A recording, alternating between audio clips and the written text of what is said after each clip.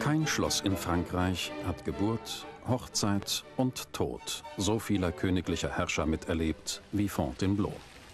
Den Namen verdankt es einer Quelle, der Fontaine Belle die ganz in der Nähe entspringt. Und das Bestehen der Jagd, dem großen königlichen Vergnügen in den Wäldern von Fontainebleau.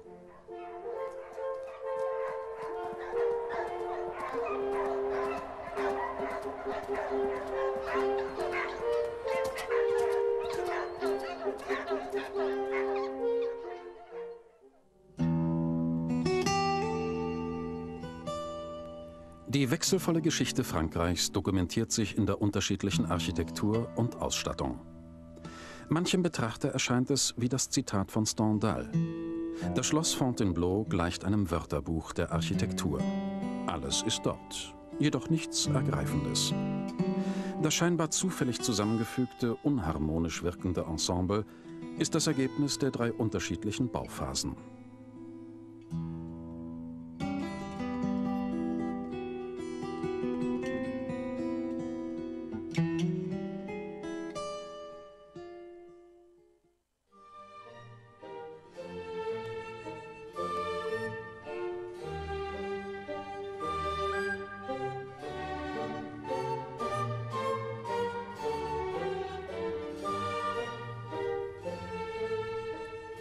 Den größten Einfluss auf das Schloss und seine Umgebung haben Franz I., Heinrich IV.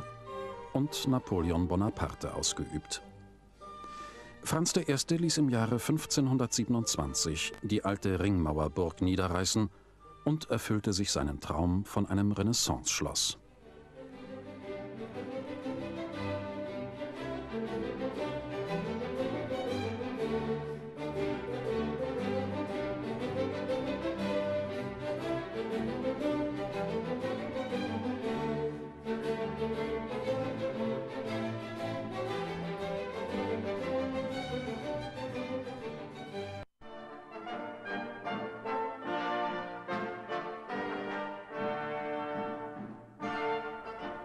In triumphaler Architektur schuf Gilles Le Breton für Franz I. die Porte Dorée, einen neuen Zugang von Süden, durch den man die vielen dem Cour Oval zugewandten Königsgemächer des neuzeitlichen Schlosses erreichen konnte.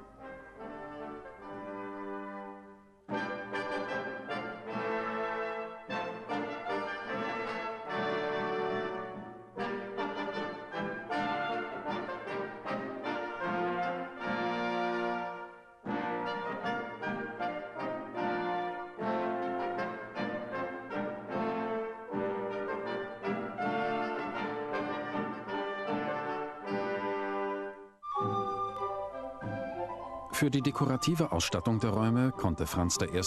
Rosso Fiorentino und Francesco Primaticcio gewinnen. Die beiden italienischen Künstler begründeten die Schule von Fontainebleau, die richtungsweisend für die französische und europäische Architektur werden sollte.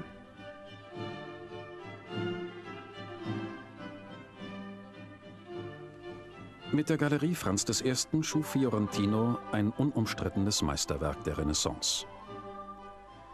Die einstige Faszination der Galerie, Komposition von Landschaft und innerer Ausstattung, die durch den weiten Blick in die Umgebung entstand, wurde im 17. Jahrhundert durch einen Anbau stark beeinträchtigt. In der Galerie Franz I. wurde zum ersten Mal eine Einheit zwischen Fresken, Stuck und Holzvertäfelung hergestellt.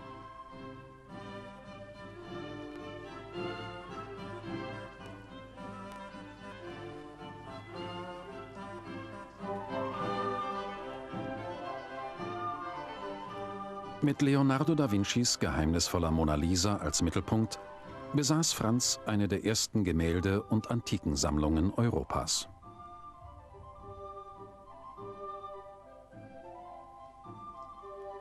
Michelangelo, von Franz I.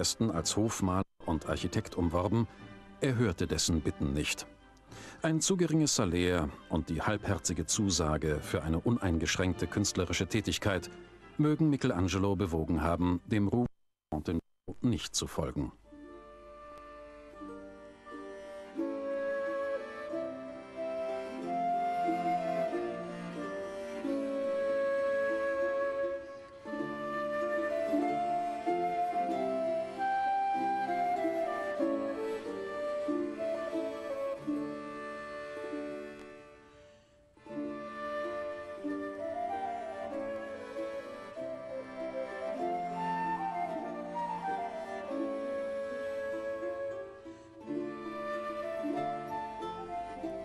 Jeden Morgen, während sich der König selbst noch im Schlafzimmer der ihm sehr zugetanen Duchesse de Tombe aufhielt, musste ein Wasserschmecker die Quelle probieren, ob sie nicht vergiftet ist.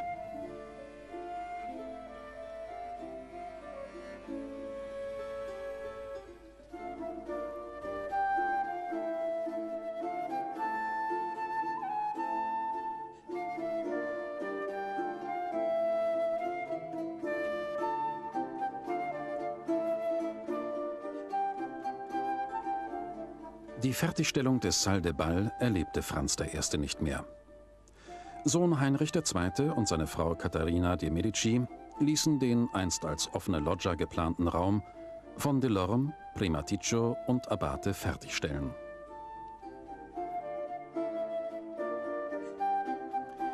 Da die Affäre Heinrichs mit der Mätresse Diana, seiner Gemahlin, verborgen blieb, ließ er die Beziehung zu beiden Frauen in einer Schmuckinitiale für die Nachwelt verewigen.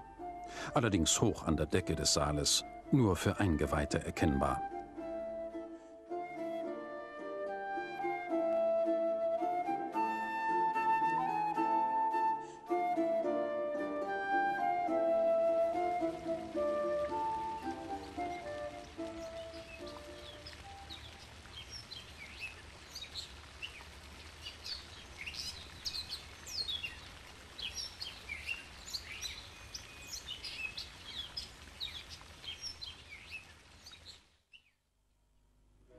Die zweite prunkvolle Epoche beginnt mit Heinrich IV. Der Bourbonenkönig beendet die blutigen Glaubenskriege 1598 mit dem Edikt von Nantes, das den Protestanten die Ausübung ihrer Religion zusichert. Le Vert Galant, der galante Grüne, lässt sich von Fontainebleau fesseln. Zwei Galerien werden angebaut und weite Teile des Parks neu gestaltet. Es entsteht die zweite Schule von Fontainebleau.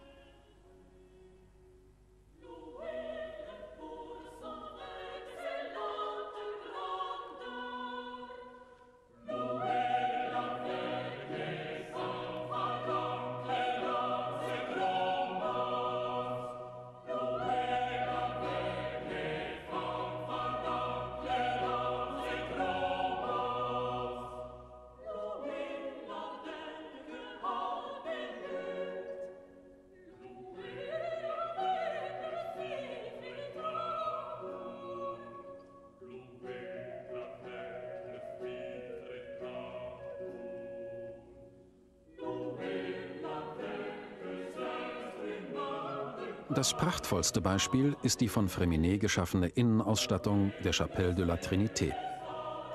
Mit seinen fünf großen Themen zum Geheimnis der Erlösung stellt er eine Verbindung zum berühmten jüngsten Gericht in der Sixtinischen Kapelle her.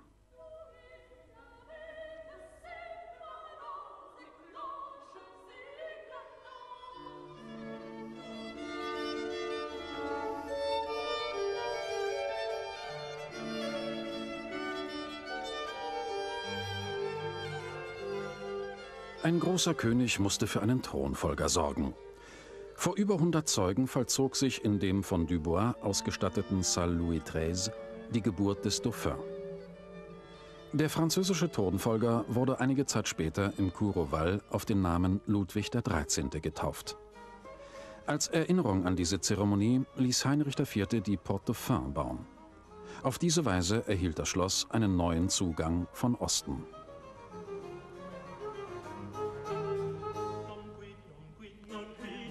Für den Sonnenkönig Ludwig XIV.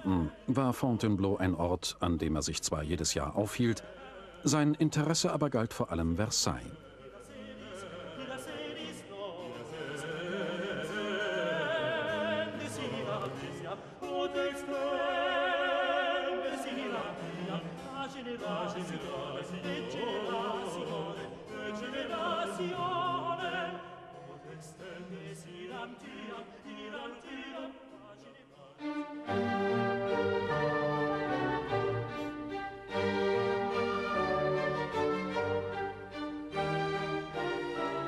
Die letzte der drei großen Bauepochen beginnt mit der Thronbesteigung Napoleon Bonapartes, der Fontainebleau wieder zu seiner Residenz macht. Er lässt den Glanz der Gemächer, die während der Revolution zwar nicht zerstört, deren gesamtes Mobiliar jedoch verkauft oder entwendet wurde, wiederherstellen. Wenn er nicht auf Eroberungszügen war, saß der große Korse in der Galerie de Diane an dem eigens für ihn gebauten Globus und plante seine nächsten Feldzüge. Napoleon I. ließ sich seinen Thronsaal im Königszimmer einrichten, dem wichtigsten Saal des Hofes, unter dem königlichen Wappen von Frankreich und Navarra. Die Ausstattung symbolisiert, in fast krankhaftem Hang zu dekorativem Protz, zu welcher Größe Frankreich unter seinem neuen Kaiser aufgestiegen war.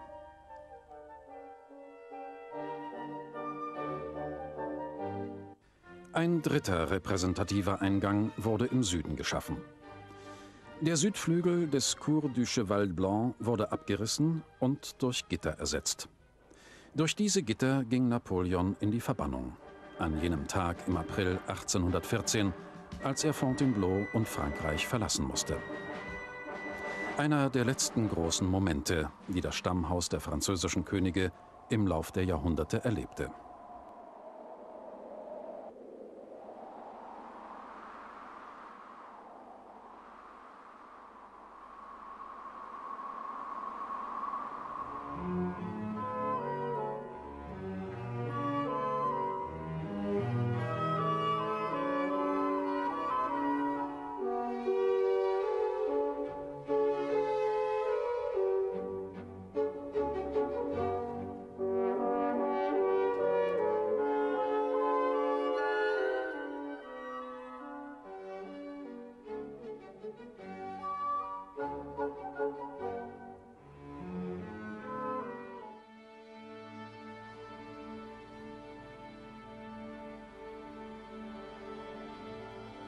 Man kann sich vorstellen, dass das Privattheater Napoleon III. um Mitternacht von den Geistern der großen Persönlichkeiten, die die Geschichte Fontainebleaus über sieben Jahrhunderte geprägt haben, besucht wird. Frei nach den Worten Michelets, wenn Sie unglücklich sind, wo würden Sie Zuflucht und Trost der Natur suchen? Ich würde nach Fontainebleau gehen. Wenn Sie jedoch sehr glücklich wären, ich würde auch nach Fontainebleau gehen.